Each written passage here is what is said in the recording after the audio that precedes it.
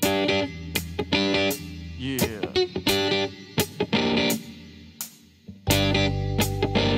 Ah, yeah.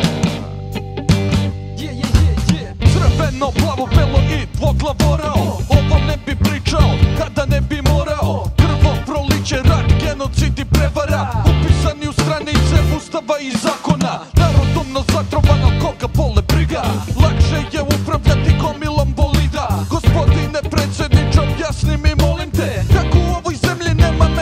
za mozgove Gde su ti stručnjaci, sve nam je u kurcu. Prodali ste sve što valja i dalje smo u dugu. Toliko smo sranje da ne mogu da me teše. Čak nam je i rs nastavak net adrese Novi sistem je kao DD defekt Vođen zaradom u stilu štapa i šargarepe Samo čekam zakon da zabrani mi pesme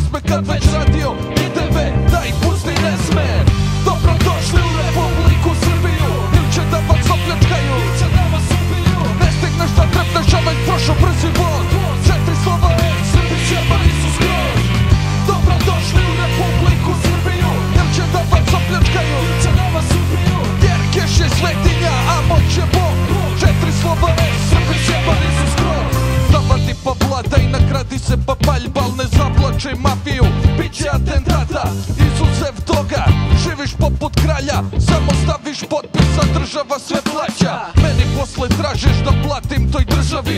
Evo srednjeg prsta mi tebi tvojoj upravi Što ne moš ništa izgradi, a da se ne ugradi. Jedino što raste su nezaposlenost dugovi Da spodnjam kilo granja, ne mogu se ne uzbudim Od vas su bili bolji, čak i partijski drugovi. A lijepe što, ovdje odavno nema časti.